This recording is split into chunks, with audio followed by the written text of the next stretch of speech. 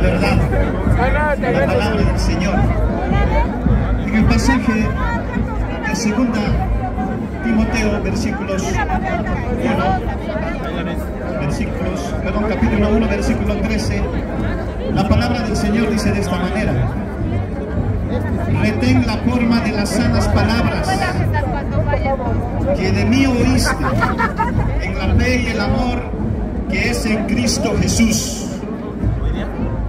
Estudiantes, padres de familia, en esta noche vamos a orar para poder meditar en la palabra del Señor.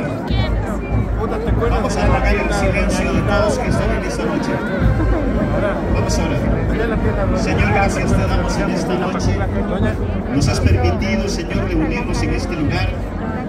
Señor, tuya y solamente tuya es toda la gloria. Son 100 años, bendito Padre, pasar por las aulas con diferentes profesores, alumnos. Señor, gracias por escoger Archibaldo Ricky para traer la palabra a este lugar, para formar, Señor, hombres íntegros que te agraden a ti. Señor, permítenos poder meditar en tu palabra. Tu palabra es verdad. Tu palabra, Señor, puede cambiar vidas.